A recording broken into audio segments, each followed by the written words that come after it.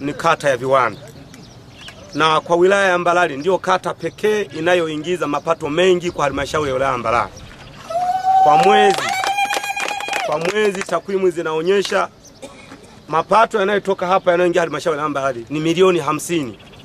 Kwa sababu gunia la mchele moja kwa ushuru wake ni shilingi elfu mbili. Na wamekwambia hawa madalali gari moja linapakia linapakia tani 250 si ndio? Gunia 250 sawa na tani 25 kama sijakosea, ni sawa na tani ishirini- eh, sawa na tani 28. Sasa kwa siku ya, zinatoka gari kumi, gari tisa. Kwa siku zinatoka gari tisa.